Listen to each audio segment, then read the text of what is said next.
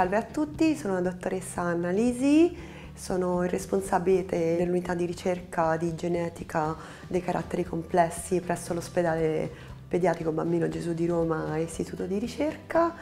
e ci occupiamo eh, di malattie epatometaboliche. Eh, in particolare in questi anni eh, abbiamo lavorato alacremente, tutto il team ha lavorato eh, per cercare di individuare sia biomarcatori diagnostici che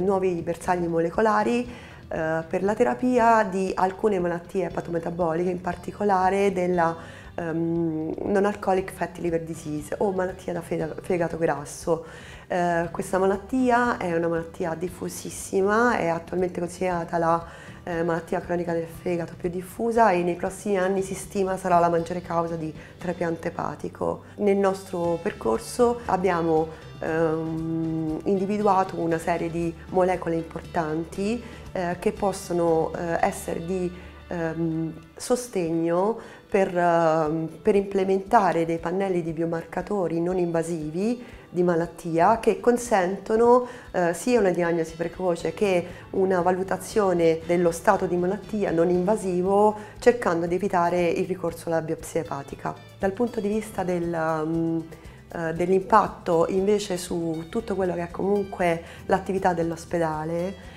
eh, nostro, i nostri studi, i nostri risultati sono di grande mh, rilevanza per tutto ciò che è sia implementazione della conoscenza eh, da parte di tutti